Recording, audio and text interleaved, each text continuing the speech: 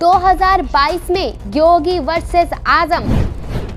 आज़म की बहू योगी से लेंगी आज़म का बदला। 2022 के रण में सिद्रा की एंट्री। जी हाँ 2022 के यूपी के रण में एक ऐसे चेहरे की एंट्री हो गई है, जिसके परिवार के साथ योगी का 36 का आंकड़ा रहा है। ये परिवार किसी और का नहीं, बल्कि समाजवादी पार्टी के नेता और रामपुर से सांसद आज़म खां का परिवार है।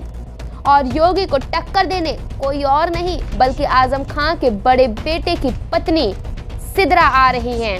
आजकल यूपी के चुनावी गलियारों में ये खबर सुर्खियों में है कि सिद्रा इस बार समाजवादी पार्टी के टिकट पर चुनावी मैदान में उतर सकती है। कहा जा रहा है कि सिद्रा अपने ससुर की राजनीतिक विरासत को मजबूती देने की तैयारी में है। ऐसा हम इसलिए कह रहे हैं क्योंकि कुछ दिनों पहले सित्रा से जब एक इंटरव्यू में पूछा गया था कि क्या वो यूपी के 2022 में चुनाव लड़ेंगी तो जवाब में सिद्रा ने कहा था, मैं हर तरह से रामपुर के लोगों की खिदमत को तैयार हूँ।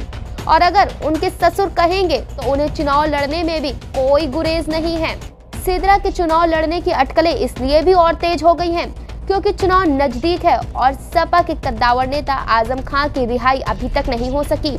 वहीं सिद्रा भी काफ़ी एक्टिव मोड में दिख रही हैं। इसके अलावा सिद्रा के बयानों से भी ये माना जा रहा है कि वो चुनावी मैदान में उतर सकती हैं। दूसरी तरफ़ वो लगातार समाजवादी पार्टी के मुखिया अखिलेश यादव की तारीफें करने में पीछे नहीं हट रही। वो कहती हैं कि अखिलेश यादव ने हमेशा उनके परिवार की मदद की और आज भी उनके साथ खड़े हैं। ये तो जग ज़ाहिर है कि आज़म खान और अखिलेश यादव का रिश्ता बहुत ही अच्छा है। लेकिन पिछले कुछ दिनों के घटनाक्रम के बाद ये अफवाहें भी ज़ोर पकड़ रही थी। कि अखिलेश ने आज़म और उनके परिवार से दूरी बना ली है। लेकिन सिदरा ने साफ़ कर दिया कि आज भी आज़म खां और अखिलेश के बीच सब कुछ ठीक है। आपको बता दें, समाजवादी पार्टी के वरिष्ठ नेता आज़म खान रामपुर लोकसभा क्षेत्र से सांसद हैं। आज़म और उनके छोटे बेटे अब्दुल्ला आज़म खान पर कई मुकदमे दर्ज हैं। इसी के चलते वो इस समय जेल में हैं। आज़म की पत्नी रामपुर से ही शहर विधायक हैं। उनके छोटे बेटे भी जनपद से विधायक हैं। हालाँकि दो जन्म प्रमाण पत्र के मामले में उनकी विधायकी चली गई। उधर सिद्रा लगातार योगी सरकार पर हमलावर हैं और सरकार पर आरोप लगाती रहती हैं कि उनके परिवार पर बदले की राजनीति के तहत योगी आदित्यनाथ कार्रवाई कर रहे हैं और इस बार के चुनाव में यूपी की जनता आज़म के साथ खड़ी है और योगी को जवाब देने का मन बना चुकी है।